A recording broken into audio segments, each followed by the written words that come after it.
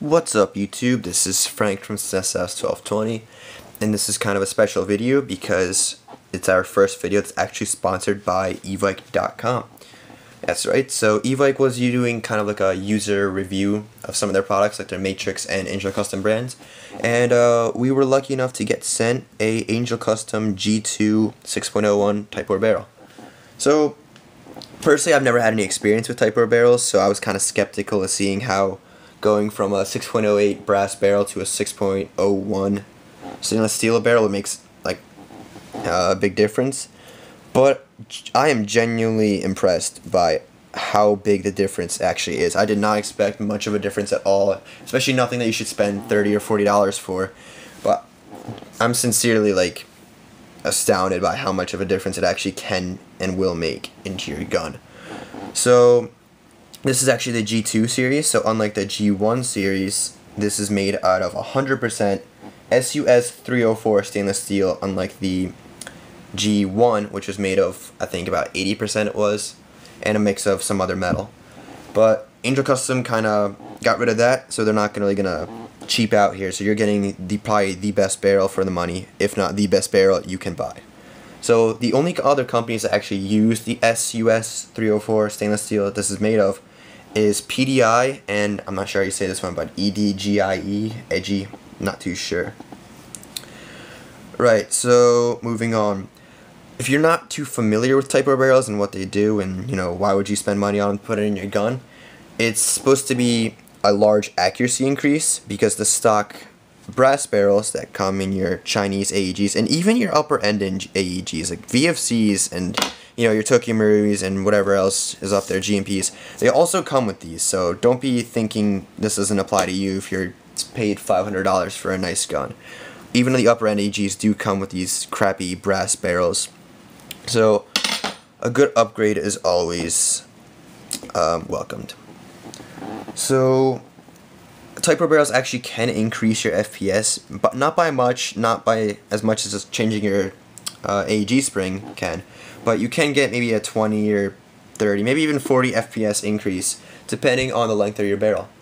So the prices for the Angel Customs can range from $30 for the 230 millimeter version to $58 for the 630 millimeter version. This is actually the 455 millimeter version. I think it's around 40 or $42. Don't quote me on that. And the reason I got this length instead of some of the other ones is because it's going to be tested with an Echo 1 VMG. So the gun is mostly stock, maybe a little bit of replacement parts in it. So I think felt that would be the best gun to test this barrel in kind of like a vacuum environment. So we will be testing this and doing a shooting test to see how much of a difference the accuracy actually can make.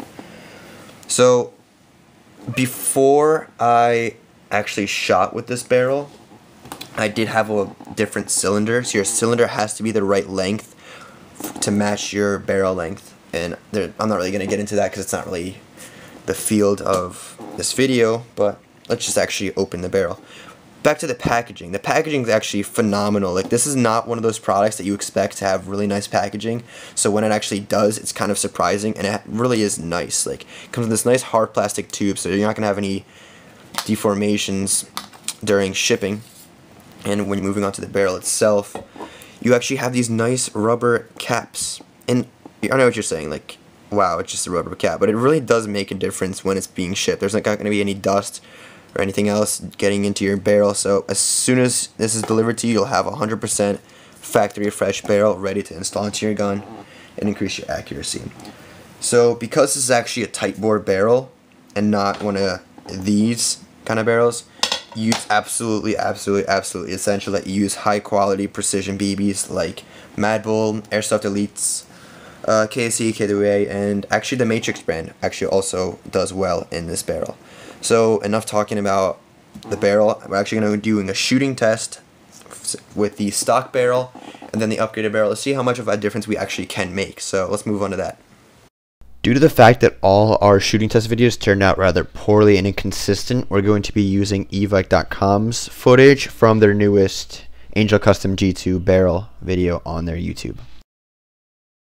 The accuracy test comparison of the stock barrel yielded a maximum diameter of 16 inches, with an average diameter of 12 inches, and the smallest diameter yielded 9.5 inches. The Angel Custom 6.01 tight bore barrel yielded a maximum diameter of 9.5 inches, an average diameter of 7 inches, and the smallest diameter of 2.75 inches in the accuracy test comparison.